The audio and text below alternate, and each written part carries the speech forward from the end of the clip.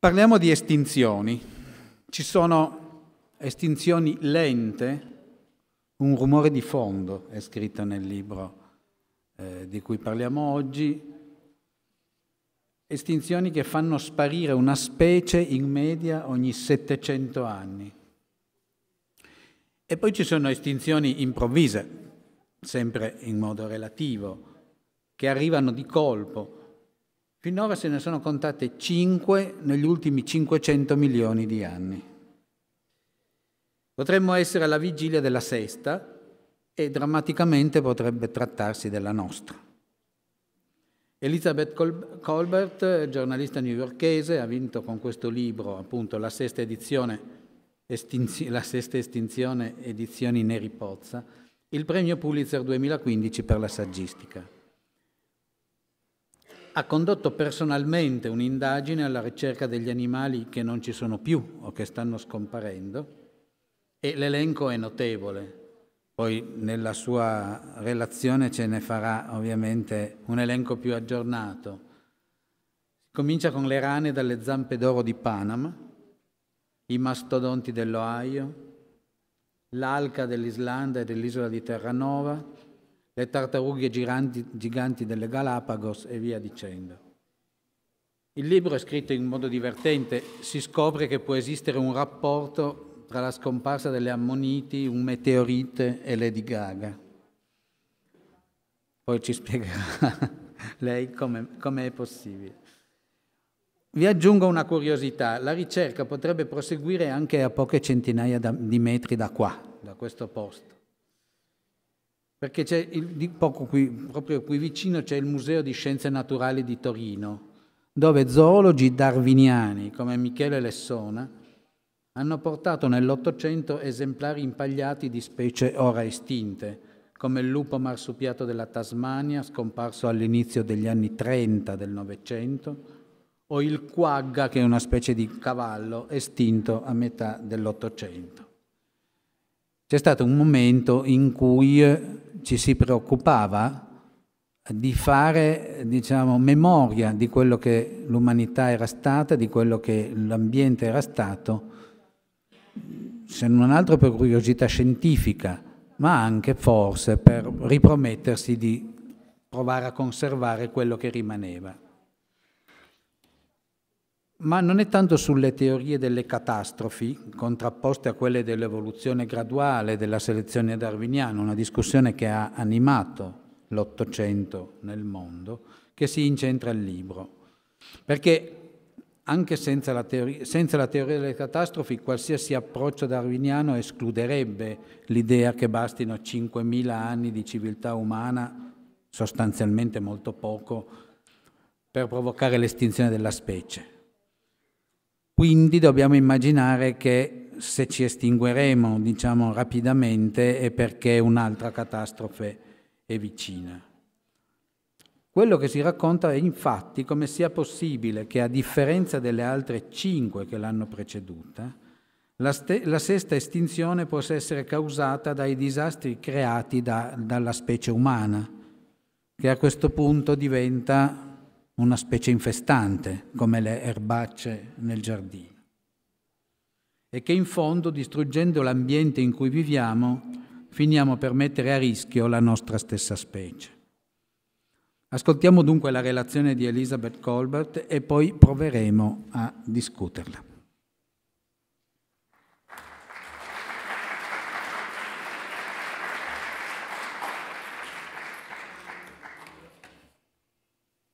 Um, thank you all. Uh, thanks for coming out on such a beautiful afternoon and for inaugurating, I guess, inaugurating this hall, all of us together. Um, so I wanted to start out this afternoon by, can, can everyone hear me? Yeah, okay. Um, and you brave people who are listening in English, I appreciate that. Um, by issuing um, a little bit of uh, an apology because I, I, published this book, The Sixth Extinction, um, about two years ago. And around the time the book came out, I gave a bunch of, of talks on it.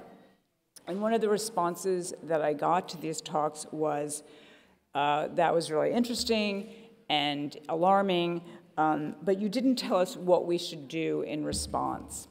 And I know that the theme of the Biennial this year is emergency exit, um, what we should do in response to emergencies, both real and manufactured. And I am definitely going to argue um, this afternoon that the uh, extinction crisis is a real emergency, um, but I am not going to end up by telling you uh, what I think we should do, what the response should be, um, because I don't really have an answer to that question. So I'm warning you uh, about that up front.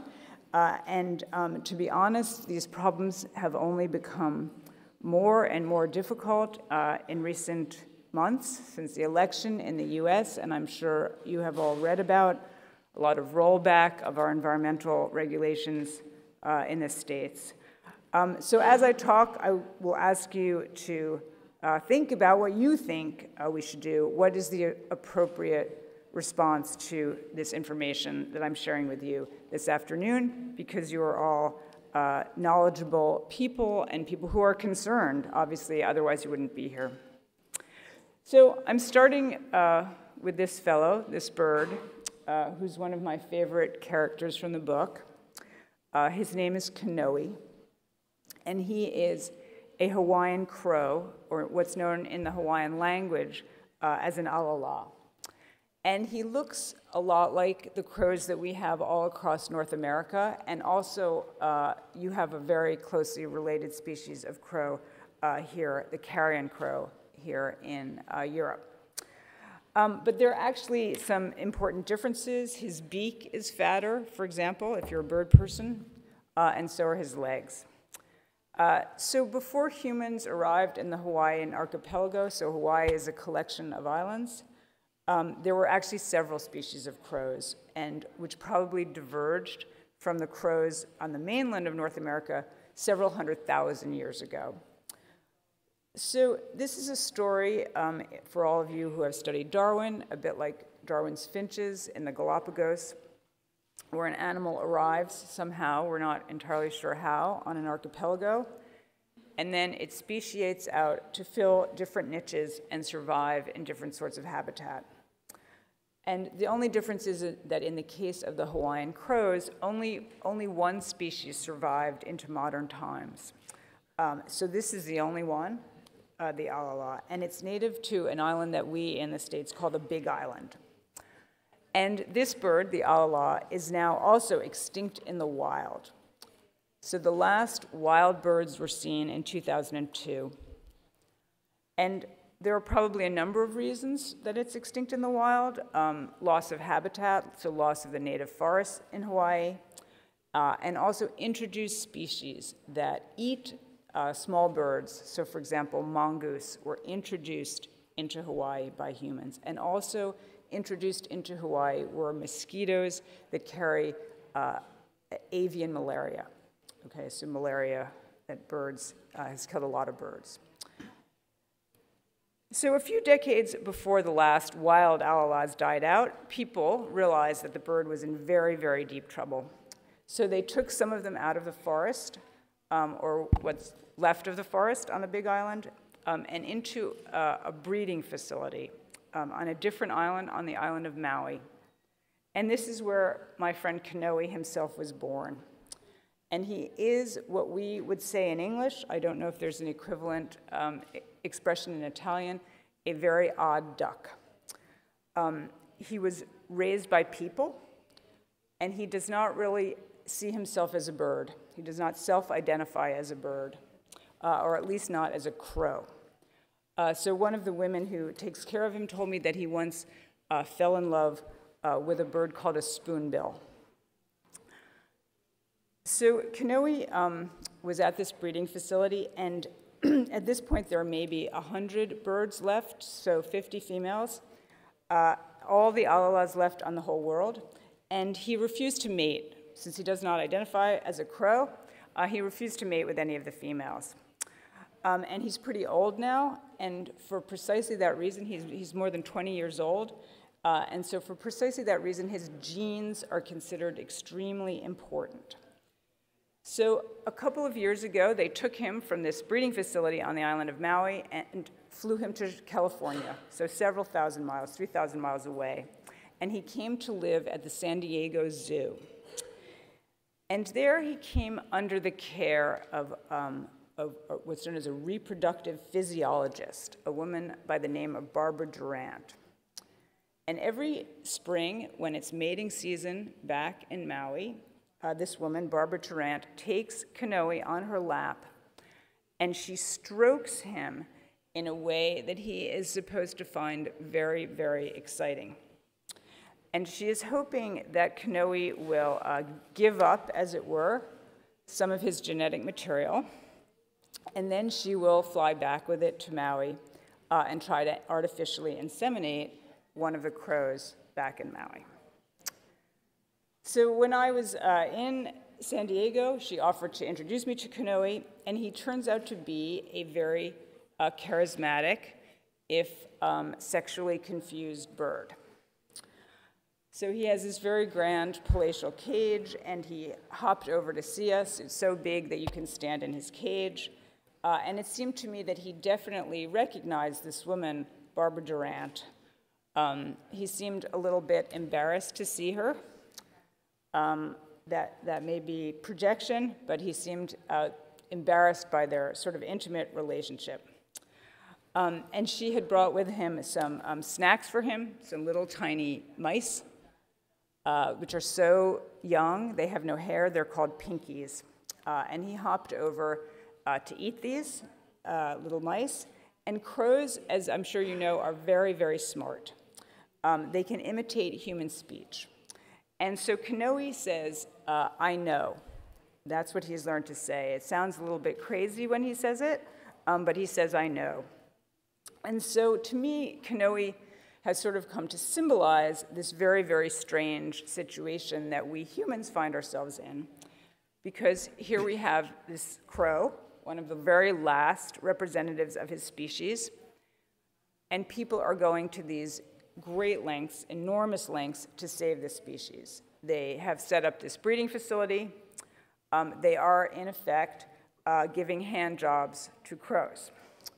So people really do care about animals and about what the American author Rachel Carson called uh, the problem of sharing our earth with other creatures. Uh, but at the same time, as you know, uh, we as a species uh, are killers. We are driving more and more species to the brink, like the alala, to the very brink of extinction, and we are driving more and more species over the brink into extinction. So Kinohi uh, sort of came to symbolize to me um, an emblem of this sort of great mess uh, that we've gotten ourselves into, and it seems very appropriate that he wears this sort of black uh, cape that you see. So what is the sixth extinction? Um, obviously, when you have the sixth of anything, the implication is that there have been five uh, other ones. And that is indeed uh, the case. Um, what you are looking at in this slide is an analysis of the marine fossil record. So it looks like a little bit of a complicated graph, but it's actually pretty simple. What you're looking at there on the vertical axis is the number of families in the record, and here on the horizontal axis, you're looking at time, starting with 600 million years ago, going forward, and those are the geological periods down there on the bottom there. So what you can see whenever we see those big dips, those are just points where the number of families and the marine fossil record suddenly dropped. And those of you who have taken introductory biology uh, you remember that a family is the group that's just above a genus, and the genus is a group that's above a species. So if one species from one of these families made it through this extinction event, then that family counts as a survivor. So in these events where you see those sudden dips, those are moments in time where something like 75% of all species on Earth were lost. So these are the five uh, major mass extinctions. They are sometimes called the Big Five. Um, and they're just moments, once again, geologically speaking, not moments in a human scale, but moments in a geological scale, where for some reason, diversity of life on the planet plummeted. So one pretty good description of a mass extinction, which comes from two British paleontologists that I quote in um, my book, is that mass extinctions are events that eliminate a significant proportion of the world's biota in a geologically insignificant amount of time. So the first of these extinctions, where you see the number one there, uh, that occurred at the end of what's known as the Ordovician period.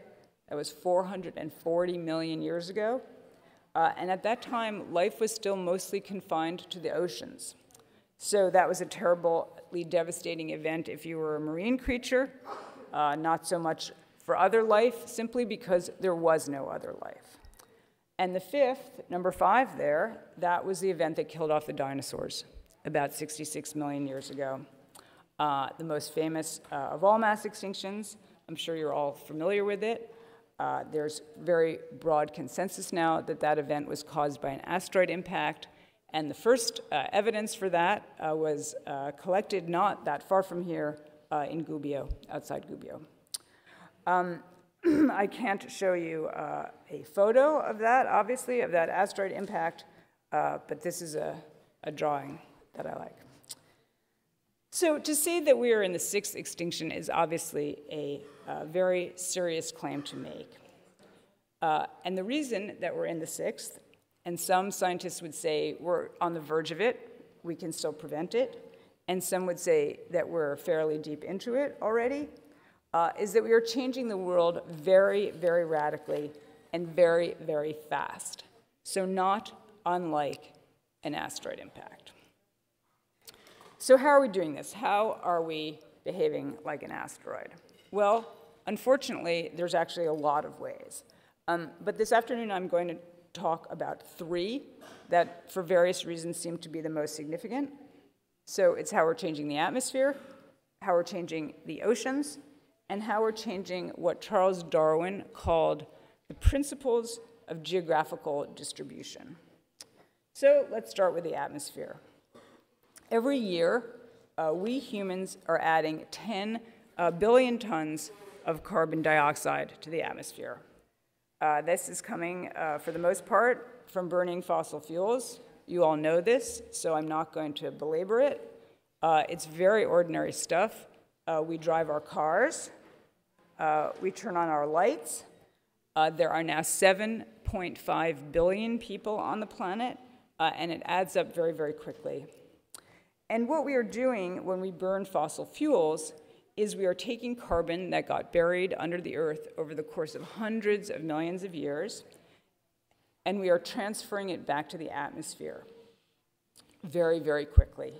So we are basically running geological history backwards and at a very high speed. We are taking a process that uh, took hundreds of millions of years to run in one direction, and we're running it backwards in the other direction uh, in a matter of decades. So if you were an alien, let's say, and you came uh, to Earth from another planet, you could easily conclude that what we're doing, that the primary purpose of a modern 21st century industrialized society is to effect this transfer as quickly as possible, to see how much carbon we can get out of the ground and put up into the air and how fast we can do it. Uh, and if the aliens were measuring this process, these, they'd see that we are, in fact, increasing the amount of CO2 in the air every single day. Uh, and of course, we are measuring this process. Uh, we are measuring it. This brings us back to Hawaii. Uh, there's a continuous record of carbon dioxide in the air that's been taken uh, from what's called the Mauna Loa Observatory, uh, very high up on a very high peak in Hawaii. Um, and this is where we have a record of CO2 in the air. I'm sure many of you are familiar with this. This is a very famous graph. This is showing us uh, CO2 uh, levels in the air in parts per million there on the vertical axis, and then once again time. So since 1958, we have a continuous record. Uh, and I'm sure that, so that's a very latest reading, very recent reading, 406 parts per million. Uh, where that green line is shows where we hit 400 parts per million. So there's a seasonal component to CO2, that, that sort of sawtooth pattern that you're seeing. Uh, when it's winter in the northern hemisphere and our trees drop their leaves, uh, go dormant and stop photosynthesizing, stop taking up CO2 for photosynthesis, then globally carbon dioxide levels go up. And during the summer, when the trees in the northern hemisphere start taking up CO2 again, then globally CO2 levels go down. And that is just a function of the fact that we have more forests and, in fact, more land in the northern hemisphere. And we are now at the end of winter, right? So we're at a high point, and then CO2 levels will start to decline now in the spring. Um, but that general up and down pattern will keep going, but the general rise up is going to keep on going uh, until we stop emitting CO2, which unfortunately, uh, so far, we show no signs uh, of doing. Uh, so probably, in fact, certainly, uh, within the lifetimes of anyone in this room, uh, CO2 is not going down below 400 parts per million. we've reached the point where it's only going to be above that. Uh, and if we want to see how well we're doing on a longer time scale, uh, so how well are we doing at increasing CO2 levels in the air, uh, we don't have a continuous you know, record from Hawaii, but we do have um, a very interesting record that were collected from ice sheets. So here is a photo of an ice coring operation that I actually visited just last summer. Uh, we're on the Greenland ice sheet here, and we're standing on top of 10,000 feet of ice, okay? So that is um, how thick the Greenland ice sheet is. And if you take an ice core, uh, what you do is you take a drill that just looks like a long tube and you set it spinning uh, in the ice. And if you're lucky, you pull out a cylinder of ice like that, uh, which is about a meter long and a few centimeters in diameter. And you keep doing it over and over and over again until you reach the bottom of the ice sheet. And what that ice sheet has in it are trapped uh, bubbles of air, so we have actual samples uh, of the atmosphere going back a very, very long way. And the very longest uh, record that we have actually comes from ice sheets on Antarctica. So this is a graph showing you the record of CO2 from the longest core we have, uh, taken on Antarctica. It's called the Epica core. It was taken by a group of European scientists. Very, very arduous uh, labor. Uh, and what you're looking at here is 800,000 years of carbon dioxide in the air. Okay, so parts per million versus time, 800,000 years ago to today. And where you see those up and down cycles, those are the glacial cycles, right? So times when CO2 is low, the ice sheets have uh, pushed down from uh, the North Pole, uh, covered most, most of Scandinavia. Uh, there have been huge ice sheets on the Alps, uh, and even ice sheets here uh, at the higher elevations here in Italy. And those times where CO2 is low, those are interglacials, right? So we are obviously in an interglacial right now. and now you see how we've radically changed the shape of that curve, right? So you are up there once again, near 400 parts per million. And this graph shows us if we look into the future, okay? So this is the same record, 800,000 years of CO2. Uh, this used to be um, kept by a federal agency in the US. Uh, they stopped doing it in 2008. I think the numbers were getting too scary. Uh, now we're getting up over 400 parts per million. Uh, where you see that green dot, that is where we're headed if we work very, very hard to keep our emissions low, so up around 550 parts per million.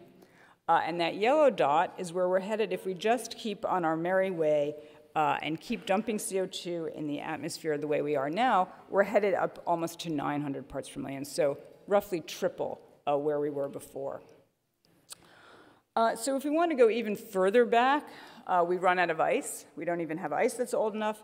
Um, but there are other ways of trying to figure out what CO2 levels were like in the atmosphere.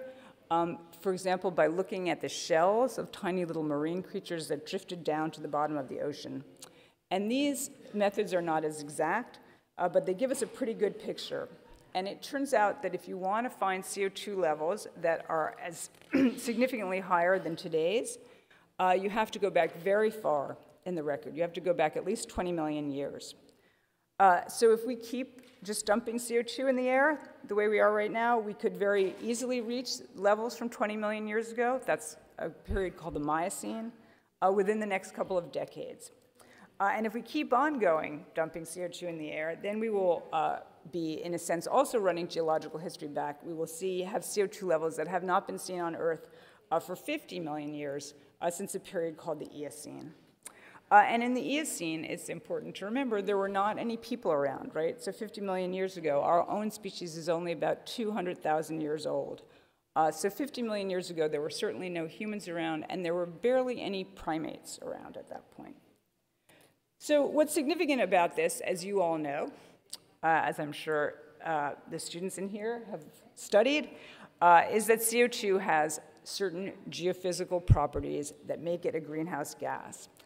And I'm not going to give you my whole global warming spiel uh, this afternoon because you all know it, but it's pretty basic science. This property of CO2, that it's a greenhouse gas, uh, has been understood for more than 150 years. So I'm showing you, I can't really emphasize this point enough. I, I don't know that you have this problem here in Italy, but we have a lot of people in high positions now in the US who are making the argument that the science of climate change is not settled. Uh, but that is, um, not to be too blunt about it, um, garbage, really. Uh, the science has been settled for a very long time. So this machine was invented by a British uh, physicist named John Tyndall. Uh, it's called a spectrophotometer. He used it to measure the properties of certain gases. And back in the 1850s, he realized that carbon dioxide was a greenhouse gas, a gas that traps heat near the surface of the Earth. So if you know that CO2 is a greenhouse gas and you know that we're adding a lot of CO2 to the atmosphere, then you would expect temperatures to rise. That would just be a, a sort of automatic uh, expectation. And as you know, that's exactly what's happening. So the next gra graph I'm going to show you, it's not a slide, it's not a slide, it's a little video. You have to just wait a couple seconds and it will start. And it's showing you what has happened to temperatures since we had accurate temperature records with thermometers, which started back in the 1880s. Okay, so this, uh, just give this one second to start.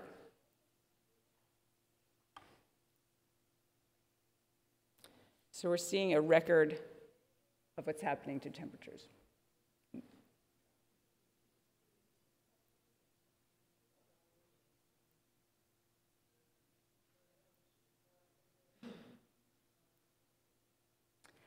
So if you followed the negotiations about, just, it's just going to start again, um, about the Paris Accord that was negotiated in 2015, there was a goal of trying to keep uh, average global temperature increase below 2 degrees Celsius, that's that outer line. And then within the Paris Agreement, there was also this sort of aspirational goal. Let's try to keep the temperature increase uh, below 1.5 degrees C. Uh, but you see from this graph that we are very, very close already to 1.5 degrees C. Um, so this is just another way to look at some of the same information. This is just showing you the warmest years on record. Uh, 2016 was a very warm year, by far the warmest year on record. You see how it really broke a lot of uh, records. It's also showing you once again how we're very close uh, to that 1.5 degrees C mark. And then it shows you that 2015 was the warmest year before 2016, and that 2014 was the warmest year before that. So the question, obviously, is what, what does this mean for, for living things, for the other creatures with whom we share this planet? And one thing that is um, important to note, I'm just going to show you this si slide very quickly. Um, this is showing you the difference in temperature increase, right? So where it's very red, that's where the temperature has risen the most. Uh, and you see that it's the Arctic. Um, the very northern latitudes have seen the most warming. Um, this is if, an effect that was predicted a long time ago. It's called the Arctic amplification. Uh, so we see the greatest temperature increase towards the North Pole. Uh, and it's the reason that the um, polar bear has sort of become an icon of the effects of climate change.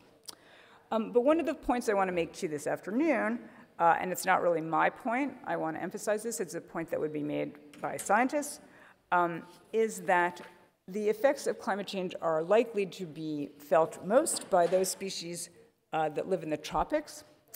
Um, and the reason for this, there's a few reasons for this, but the major reasons for this is actually that most species do live in the tropics. The richness of life on Earth is much, much richer uh, towards the equator. So let's take, for example, uh, the example of trees, okay? So here we are looking down, we're in Peru. This is a slide taken in Peru, uh, in a cloud forest in Peru. Uh, and you're looking down from an elevation uh, of about uh, 12,000 feet. And I went to the spot where this picture was taken um, a couple of years ago with an American uh, scientist. And this um, scientist and his students uh, had mapped out these plots uh, of one hectare each going down that ridge that you're looking at, okay? So they had measured them out at different altitudes, and then they had put tape around them, and then every tree in this one hectare plot, they had identified the species that it comes from, and they'd measured it and tagged it. So that's one of the representatives. Okay, so they had these 20 plots, each one hectare, so 20 hectares total. And within that 20 hectares, they'd found a thousand different species of trees. So if you went uh, further north, let's say you went to Canada, which has a very large stretch of boreal forest that's still intact, covers about a billion acres, or yeah, about maybe maybe 400,000 hectares. Uh, I'm sorry, 400 million hectares. Uh, you would find only 50 species of trees in all that territory. So you see that there's a very, very big difference in the number of species uh, that live in the tropics versus those that live up where we are now in the northern latitudes. So by tagging these trees and marking them and coming back year after year, this American scientist was trying to, and his students were trying to figure out how these species of trees, which are very, very narrowly adapted uh, to, their, to their climate zone, uh, are keeping up with climate change. So to track the climate, to stay with the same climate that they're used to, they were going to move, have to move upslope, up the Andes, okay? Um, and they were going to have to move at a rate of several meters per year because that's how fast the climate in the Andes is, is changing. So, of course, trees don't actually get up and move, um, but they can do sort of the next best thing, which is that they put out their seeds, and if their conditions are right, the seeds get moved around, and the seeds will survive in new places. So we'll get that species, representatives of that species in new places.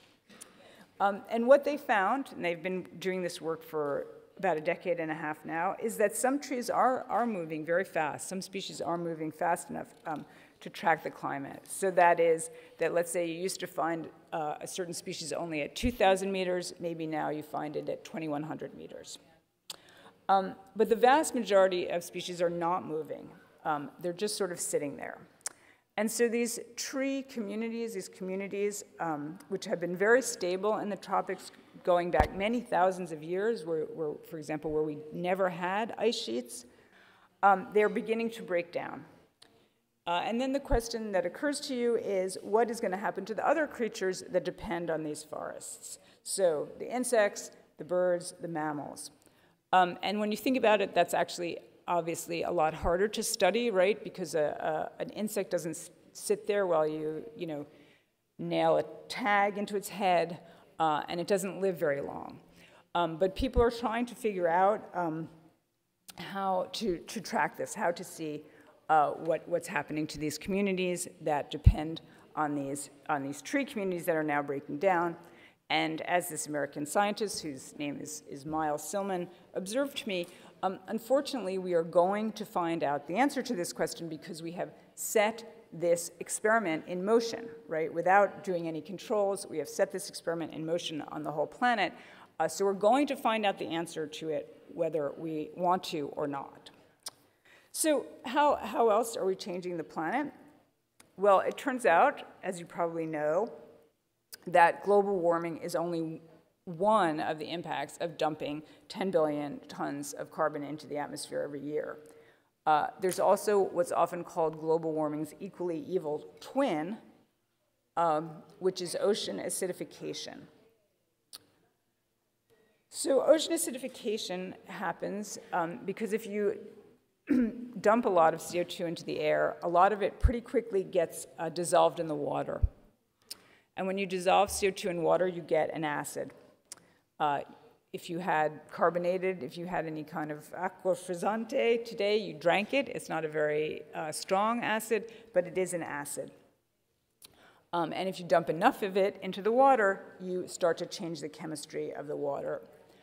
And this is a teeny bit, the actual chemistry of this is a teeny bit complicated. I'm not going to uh, go into it uh, very much today, but as I say, all you really need to know is that CO2 dissolved uh, in water is, is, carbonic acid. So here are the very, very basics uh, of ocean acidification. Um, the oceans have absorbed about a third of the carbon dioxide we've put up into the air since the start of the Industrial Revolution. That's about 150 billion metric tons. Um, every four hours, the seas absorb another, four, another million metric tons of CO2. And the net result uh, is that the acidity of the oceans has already increased by about 30%. So we don't live in the oceans, um, and we don't have a very intuitive sense of what it means to change the chemistry of the water.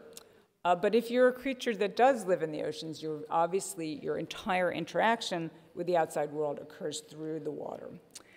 And one thing that is pretty clear is that by uh, acidifying the oceans, um, we are making it more difficult for any creature that builds a shell or an external skeleton out of the mineral calcium carbonate.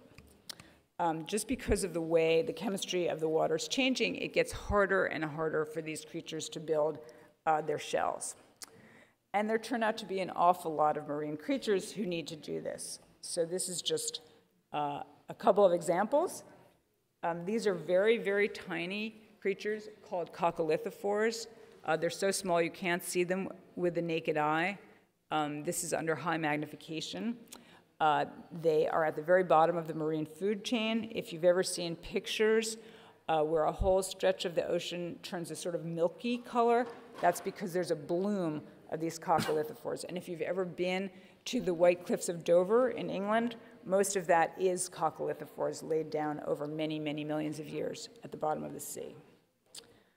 Um, common shellfish that we like to eat, so oysters and mussels and clams, uh, they need to assemble their shells out of calcium carbonate.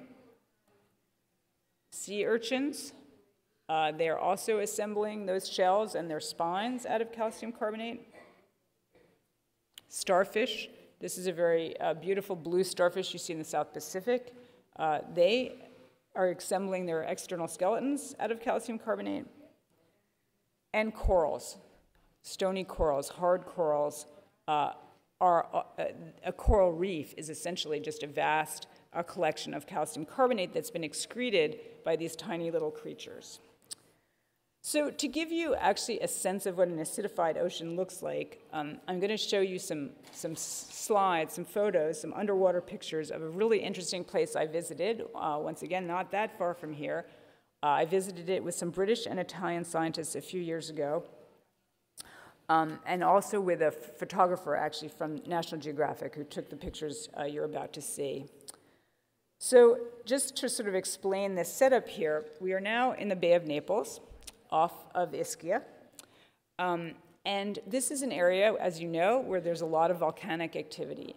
And one of the impacts of that is that you get these bubbles of CO2, almost pure carbon dioxide that is coming up out of the ocean floor. Um, you don't see that here, you'll see that in the next slide.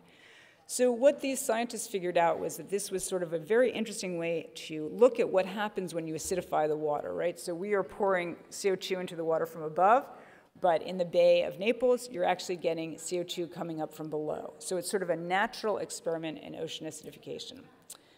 So here we are far away from these vents, these, these bubbles. Uh, and you see this is a very colorful, it's a collection of sort of creatures we'd expect to see in the Mediterranean. There is a sea urchin in the front there, there are some corals here. Um, there are these very stiff kind of seaweed, which also has uh, a sort of external skeleton made out of calcium carbonate. And now imagine we're swimming along. When I was there, it was January. We had to go in the water in January when it was clear, uh, and it was the it was the coldest experience of my life. Um, but now we are swimming towards these volcanic vents, and the acidity of the water is increasing, and the pH is decreasing. Okay, so once again, all you students, higher pH, more alkaline, right? So now we're seeing the pH decline. So now the pH is down to about 7.8. We are closer to the vents, we're seeing the bubbles, and we're seeing that a lot of that colorful life has just disappeared. Okay, so this is what an acidified uh, ocean, a naturally acidified bay, looks like. And if you uh, can read that box, this appeared in National Geographic. So at, if, we, if we keep just pouring CO2 into the air, uh, then by 2100, by the end of this century, the pH of all of the surface waters of the oceans in the world will be at 7.8, will have fallen to 7.8, uh, and quite possibly all of our oceans uh, will look like this natural experiment here. So another place that I went with scientists who are studying ocean acidification was the Great Barrier Reef. Uh, this is a, uh, a, a, tiny island. It sort of just peaks up above the reef. There's a research station there uh, called One Tree Island. Um, so Charles Darwin, when he went on the voyage of the Beagle, he did not visit the Great Barrier Reef, but he visited reefs in the South Pacific. And he once wrote that reefs rank high amongst the wonderful objects in the world. And any of you who's ever been to a reef uh, knows that he was right.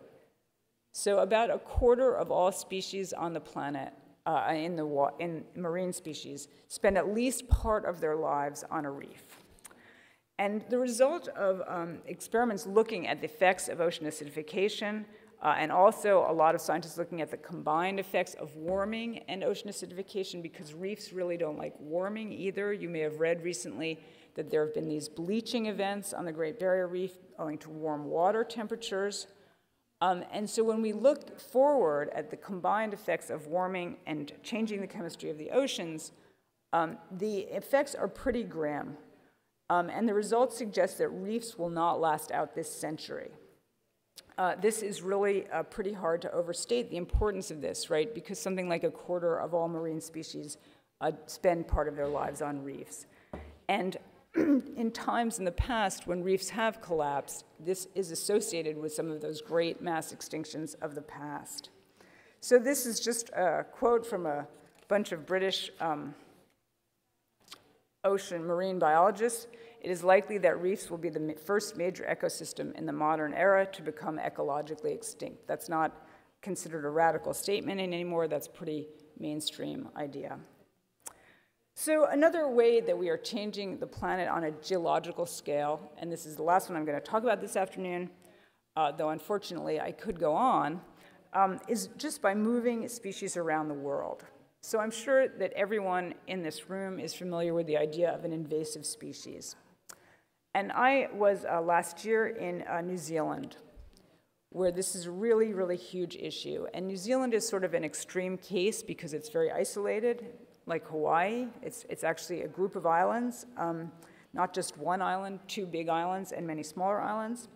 Uh, and before humans arrived on these islands, uh, New Zealand had no uh, terrestrial mammals. It had uh, a couple of species of bats, uh, but no mammals that lived on the ground.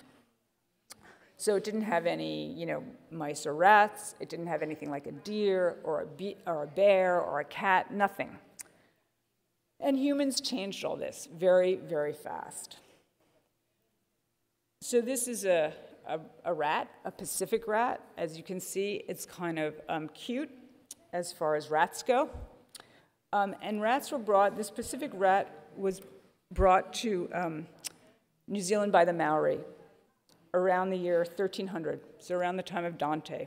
Uh, the Maori were the first people to arrive. There were no people in New Zealand until uh, until Italy was already well into the Middle Ages.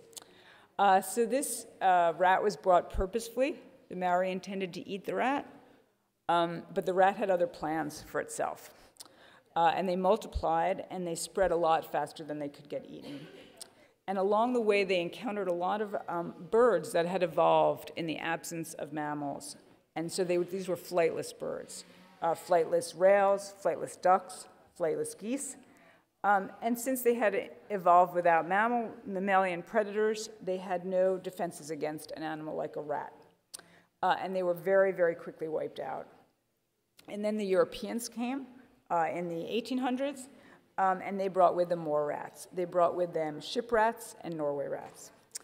Uh, and these were accidental uh, introductions. Um, but then the, the English uh, also brought with them animals that they wanted to have in New Zealand that they missed uh, from Europe. So, for example, they brought rabbits, European rabbits. They were going to go rabbit hunting. Uh, and these rabbits also um, multiplied like crazy. We have a, a saying in, in, in, English, I don't know if you say it in Italian, to uh, breed like rabbits. Um, and so these rabbits bred like rabbits, and they just overran the countryside. And New Zealanders, as you probably know, are sheep farmers. Um, so these rabbits were really eating a lot of farmers out of their livelihoods, and they were very upset. And they put um, a bounty on the rabbits, so they tried to kill as shoot as many as possible, but it didn't make any difference. Uh, so uh, someone got the bright idea of um, bringing in um, what are called stoats, uh, short-tailed weasels, um, I don't know if you have them here in Italy, but they're, they're European species. Um, in the US, we have long-tailed weasels, but as you can see, uh, they look like extremely good hunters. They are extremely good hunters. Um, but you probably guessed already, uh, they didn't go after the rabbits. What they did go after were the rest of New Zealand's birds. So this set off another wave of extinction on New Zealand that is still very much going, ongoing today. And I'm just going to show you a couple um, of species that survived long enough so that we have specimens of them. Uh, these are birds called huia. Um, they're very interesting birds, as you can see. It's a male and a female in this slide, uh, and they have very different shaped beaks. And the, the theory is that they hunted together, the men, the males, and the females, uh, and that they could hunt different kind of bugs with those different beaks. Um, this is also another really interesting bird. This is what's known as a Stephens Island wren. Uh, it's one of the very few examples of um, a flightless songbird that we know of. Uh, and it, all, it survived until the early part of the uh, 20th century. Um, so moving species around the world uh, is something that we do all the time. Um, a lot of you probably have uh, non-native species in your garden uh, at home, um, and you have non-native species as, as pets maybe. Um, it's once again, it's something that strikes us as pretty ordinary, uh, but when you think about it, um, it's something that's really very, very uh, extraordinary, very, very new, um, because without a lot of help, it's very difficult for a land species to cross an ocean, uh, or for an ocean species to cross a continent. So what we are doing when we move species around the world is we are bringing together these lineages that evolved separately, in some cases for tens of millions of years, and we're bringing them together, you know, very, very rapidly. And when you do that, you would not be surprised to learn that you can get some very nasty results.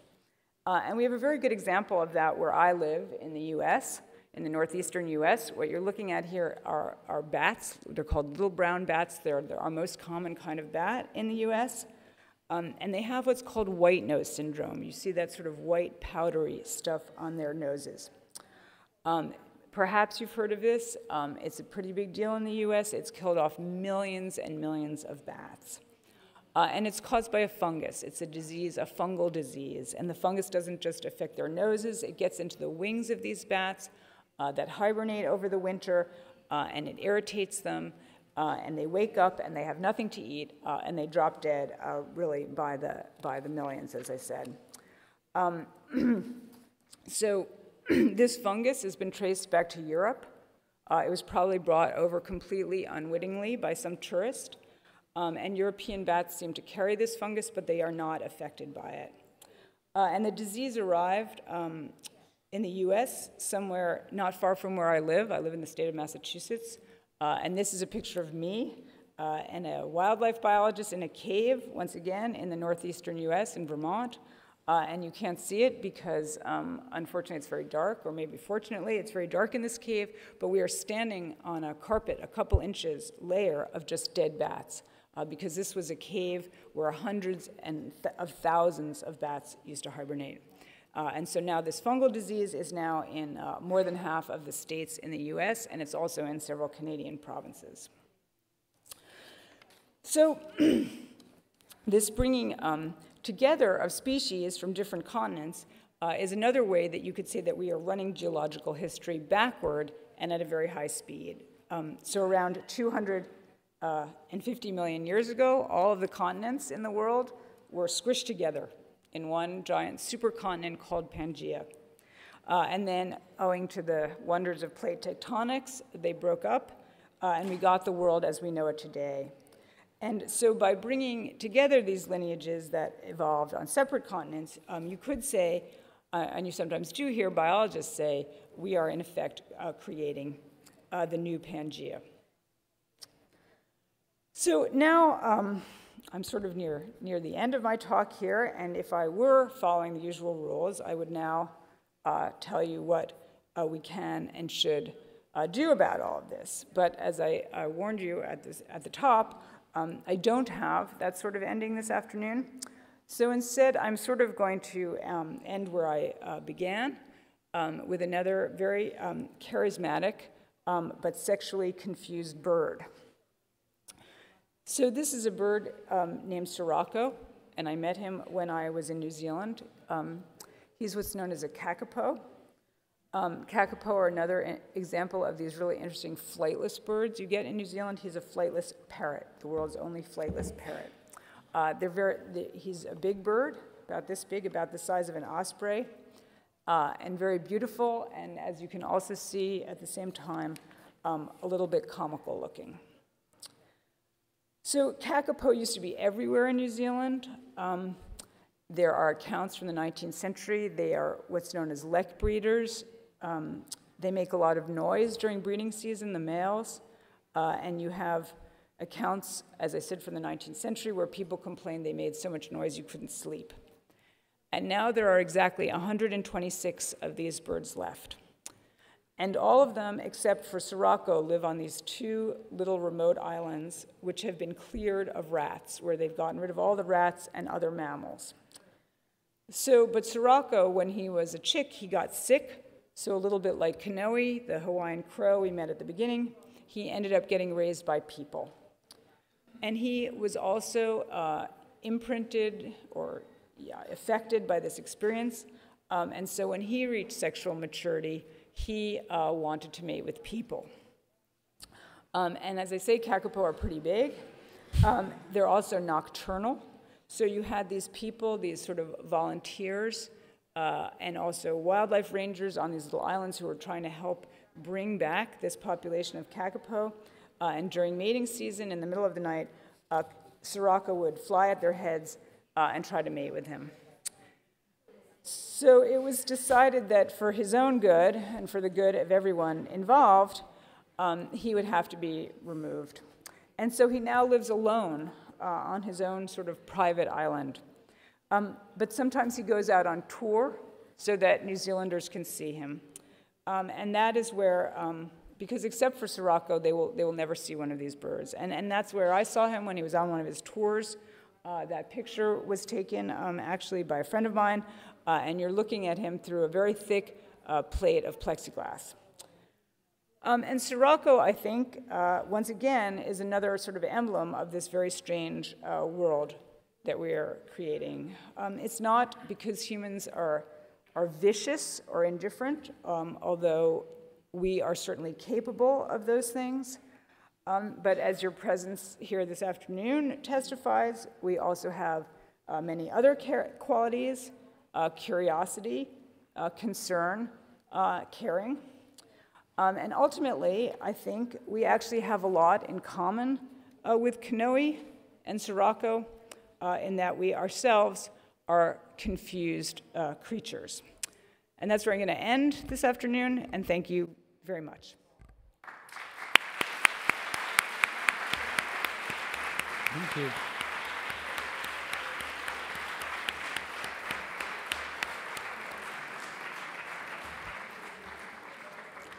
Abbiamo imparato, abbiamo imparato un sacco di cose. E un po' ci siamo spaventati anche.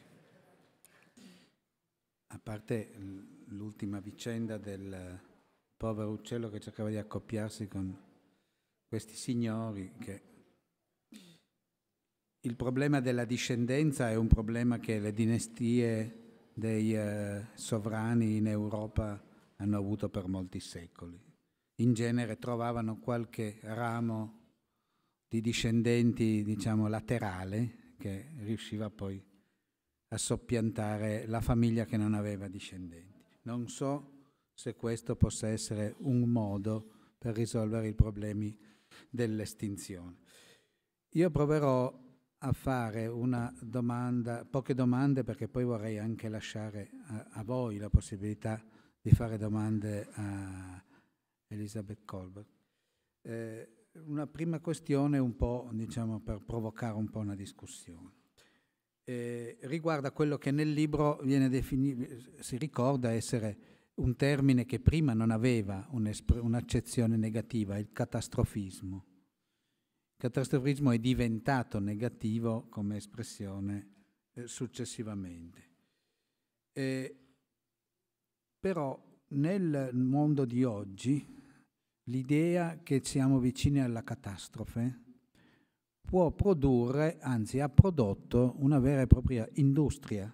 E io non parlo tanto delle questioni eh, naturali quanto per esempio quella che si potrebbe definire l'industria della paura. Il pubblico si spaventa, eh, cerca di informarsi per scacciare la paura, questo aumenta l'ansia del pubblico e per esempio io faccio facciamo tutti e due lo stesso lavoro in modo molto diverso, i giornali che si occupano di cronaca nera, che mettono al centro la cronaca nera, que- su questa paura del futuro vivono, fanno, fanno dei soldi, hanno, hanno un interesse.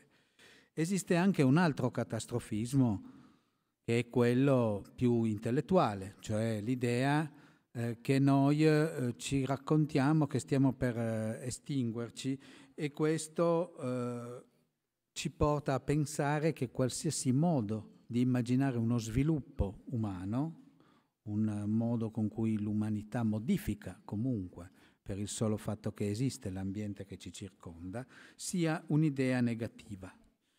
Allora la domanda è questa, noi viviamo in uno strano mondo in cui da una parte abbiamo Stephen Pruitt che è diventato il, presidente del, il direttore dell'EPA, dell'ente della protezione ambientale americano. Eh, per riassumervi, eh, noi ridevamo in redazione quando abbiamo saputo questa notizia, cioè che Trump ha deciso di mettere Dracula alla, alla presidenza dell'Avis, perché effettivamente Pruitt è uno dei sostenitori del, della tesi per cui tutto quello che abbiamo sentito oggi non esiste ed è il presidente dell'agenzia americana che dovrebbe occuparsi della protezione ambientale. Quindi abbiamo questo estremo. Dall'altra parte abbiamo l'estremo di chi pensa che qualsiasi modifica dell'ambiente sia, modifica, sia un, un modo per arrivare verso l'estinzione. Eh, e quindi in mezzo a queste due possibilità non c'è l'idea di un possibile sviluppo in cui l'uomo modifica inevitabilmente l'ambiente, ma in modo positivo. Siamo costretti invece a vivere tra queste due alternative terribili, cioè tra Trump e la conservazione eh, del, del, di quello che c'era prima.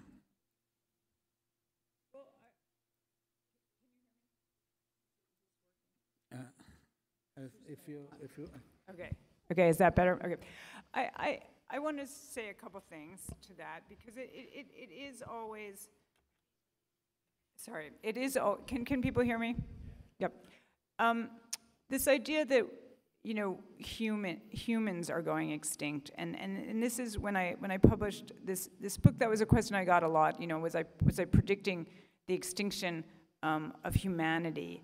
And I want to be very clear that I, that I am not. If, if you were saying to yourself, um, you know, what's a, a, species that's doing well today, uh, you know, uh, we have a record population of humans right now, 7.5 billion people, and uh, heading very rapidly toward 8. In fact, I was just um, looking at my notes and I saw that, you know, I, I had written 7.4 billion people and I went to check if you, there's a world population clock that you can look up uh, and just in like the last couple months, it had hit 7.5 billion, right? So we'd added another 100 million people to the planet. So you'd say that is a species that's doing really well.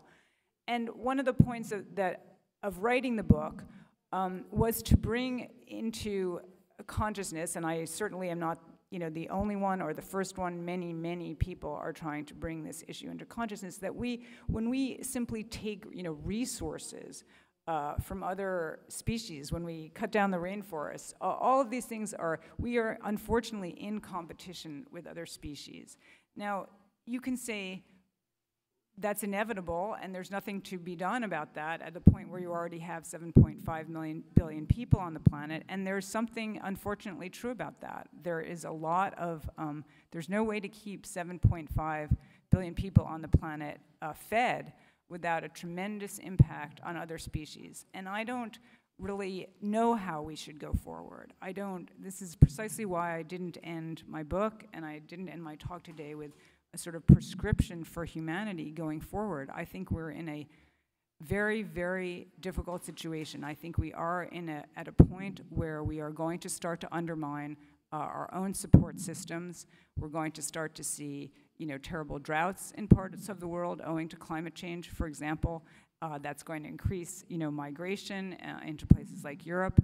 Um, so I think we are going to be undermining the stability of our own societies, uh, but that isn't to say that humans uh, are facing extinction. How's that? Sì, non so, non so se questo è un bene o un male. well, that's another question. No, la seconda domanda è questa. C'è un'ipotesi invece di trasformazione. Noi abbiamo visto prima i dinosauri perché sono, diciamo, gli esseri estinti più, più ricostruiti, più vicini a noi, anche dal punto di vista temporale. I dinosauri non sono spariti del tutto, sono diventati degli altri animali. Sono, ci sono dei rettili oggi che sono il coccodrillo, per esempio, piuttosto che eh, ci sono del, degli animali come l'iguana. Ah, forse è meglio fare così. Ecco. Ci sono degli animali come l'iguana che ha, diciamo, è in qualche modo erede di tutto ciò. Anche l'uomo, anche l'uomo è il risultato di una trasformazione. Eh, quindi anche noi ci trasformeremo, prima o poi in maniera drammatica o graduale, però noi ci trasformeremo comunque in qualche cosa. Eh, non è possibile immaginare che cosa saremo tra, tra non so, mille, due, no, mille anni sono pochi, diecimila anni sono un po' di più. Cioè, noi cominciamo a vedere già oggi i, se, i, i segnali, i segni di una trasformazione dell'uomo come lo conosciamo oggi, parlando con tutti questi scienziati con cui lei ha fatto il giro del mondo. Ci sono questi segnali. Well, if, if we're looking at, you know, sort of future evolution and, and people, people do think about this, you know, what, what will the world look like? Um, we, we are closing off a lot of evolution. That's exactly what extinction is, right? We're just closing off evolutionary possibilities. Um, so you have a tree of life and many, many branches, and we are cutting off a lot of the branches. And if you look at the results of the last mass extinction, um, when the dinosaurs went extinct. Uh, we actually don't have any descendants of dinosaurs right now, right? Crocodiles were their own, they're their own family. Um, we have uh, birds, uh, which are closely related to dinosaurs, non-avian dinosaurs, and birds survived. And, but dinosaurs, you know what we consider dinosaurs, there are no descendants of dinosaurs anymore. And um, a theory, a very plausible theory, is that you know the age of mammals came after the age of the dinosaurs. That we ourselves are sitting here as human beings because of that extinction event. A lot of room was left, a lot of ecological space was left open, and mammals, those mammals that survived, because a lot of mammals also died out in that event. Uh, they were tiny little creatures, shrew-like creatures, and they evolved, and eventually we got ourselves. Okay. Now what will happen at the end of this event that you know we are causing and where will this all lead, um, that is really, really, really hard to say. But one point that I think is worth thinking about, uh, because we do value consciousness and intelligent life, we ourselves are descendants of apes, right? We descended um, from some, you know, common ancestor with the great apes that are around today. Chimps are our closest relatives. Um, and chimps are highly endangered. All the great apes are highly endangered. Gorillas are highly endangered. So eventually, if we keep going this way, there will be only one species of ape. We are a species of great ape. Humans are, are, are just a species of ape. There will be only one species left. And either we will leave descendants, some other species of great ape, or we won't. But we will have created this bottleneck uh, in the evolution uh, of consciousness um, by leaving only one species of ape left on the planet. So if there's a group that we should be very, very, very concerned about, uh, it would be our closest relatives because all of the great apes, uh, as I say, gorillas, uh, orangutans, chimps, bonobos, are all highly in, between endangered and highly endangered right now.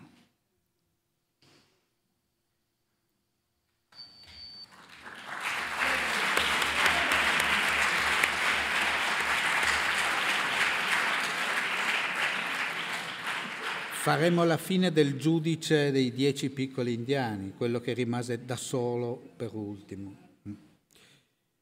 L'ultima, l'ultima questione, intanto vi dico se ci sono delle domande, eh, cominciate a, a farmi, farmi, dei cenni, io adesso faccio l'ultima mia, poi eh, vediamo se ci sono delle domande dal pubblico. Una delle altre possibilità per risolvere questo problema è quella di scappare Infatti, anche nel libro se ne parla, la possibilità di scappare su altri pianeti. In realtà la, eh, uno degli scopi della ricerca del, dei viaggi spaziali che si stanno facendo è quello di cercare non tanto altre forme di vita che visto come è andata fino adesso sulla Terra, noi ci auguriamo di non trovare, ce lo, lo auguriamo a loro perché forse farebbero la stessa fine, quanto degli altri luoghi dove noi possiamo espanderci, perché una delle cose che non si vedevano eh, in queste riprese, che, in questi grafici, ma che è anche dire, una delle cause tutta, dell'aumento della CO2, eccetera, è il fatto che la popolazione aumenta in maniera, è aumentata in maniera esponenziale. E, e quindi, come è sempre successo nella storia dell'uomo, quando un paese diventava troppo piccolo per accogliere tutti coloro che ci vivevano, si fondavano le colonie come hanno fatto i greci in Sicilia o come hanno fatto molti altri popoli successivamente. La domanda è, è possibile immaginare di creare diciamo, le condizioni ideali su un altro pianeta oppure questo è un modo per scappare dalle nostre responsabilità? Well, this is uh, um, a, an idea that has gotten a surprising amount of credibility. Um, people like Elon Musk, um, you know, who's the founder of Tesla, uh, you know, is pushing this idea. And I, I want to say I always find it, you know, beyond laughable and a, a sign of how, how far humans will go um, to avoid facing up to the obvious. And the obvious is that, um, you know, we have a planet where we have, for example, oxygen, which we consider to be extremely useful for things like breathing. Um, and we would imagine, you know, that we could go to another planet, that that would be easier than trying to preserve the habitability of life on Earth. Um, when you think, when you just like think about it for a second or two, it seems like that's extremely unlikely that you're going to go to a place without oxygen, without an atmosphere, without water, without air pressure. Air pressure is extremely useful too. We evolved over you know, um, many, many millions of years to, uh, to be at the uh, air pressure at the surface of the planet Earth. Um, and if you go to another planet, uh, basically uh, there's no air pressure, and so all the gases in your body, you know, that are dissolved in your body want to escape, and you're, you know, dead within about three seconds.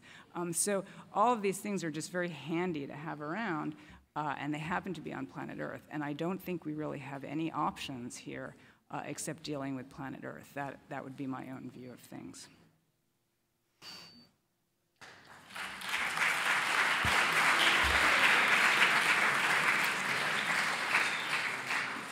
Bene, allora eh, ci sono domande dal, dal, dal, pubblico? Qualcuno che alzi la mano e dica, ecco, ce n'è una.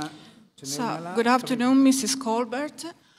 Uh, I'm not going to ask you what you think about Trump. This is not my question. I think that's pretty obvious. Yeah, of course. But my question as an American, as a member of the press, uh, what do you think uh, will happen?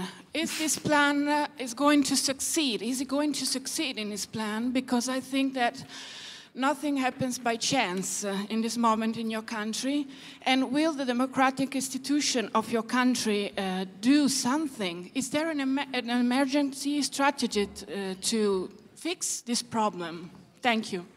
Um, that's a that's a really good question, and I am very sad to say, or sorry to say, that just like you and everyone watching, you know, in horror from around the world, uh, I don't think any anyone knows. You know, um, it's it's it's actually the situation is sort of um, even even worse than you know, you, you can, might think because the people who run both houses of Congress are also pretty crazy.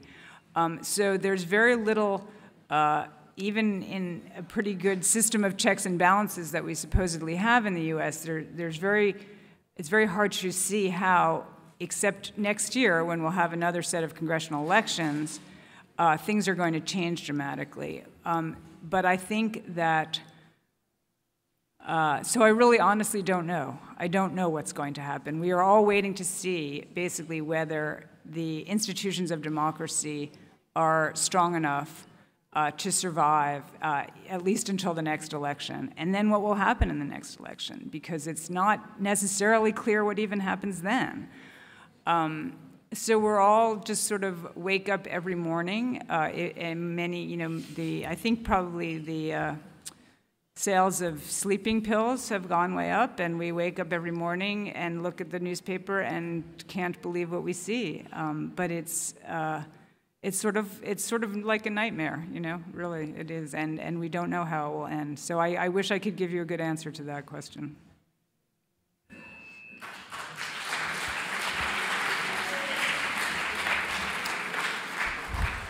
Una, una domanda che mi viene sentendo questa domanda. E perché è stato possibile che i pazzi abbiano vinto? E soprattutto sull'ambiente, come è stato possibile che, eh, per esempio, delle persone che lavorano nelle fabbriche possano immaginare che sia meglio rischiare di inquinare l'ambiente ma di non, di non perdere il posto di lavoro, cioè di aver immaginato che le questioni dell'ambiente sono contro il loro, il loro interesse. Questo forse è responsabilità del fatto diciamo, che quelli meno pazzi non sono stati capaci a spiegarlo. Well, I think I, I, think that's a very good question, and I ask I ask myself that a lot um, because it does reflect on journalists. Um, you know, I, I also think we have a we have a very odd system of elections in which is hard to even explain but you know he, Donald Trump did not actually win the election as you know. He did not win the popular vote but he won strategic states where people feel very hard hit and I'm sure there are big stretches of Italy also where people feel very hard hit by the loss of manufacturing jobs. Um, and it's easy to blame environmental regulations um, as opposed to automation and globalization, and there, there are huge factors at work that Donald Trump is not going to be able to reverse. Um, but if you say, well, the problem is, you know, environmental regulations, then you can get rid of the environmental regulations. And, and he is getting rid of the environmental regulations, and we will see the impacts of that. I think people who think that that's going to bring back manufacturing are going to be very disappointed.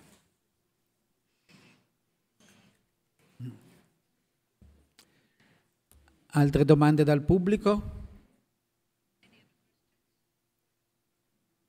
Grazie, grazie. Molto grazie.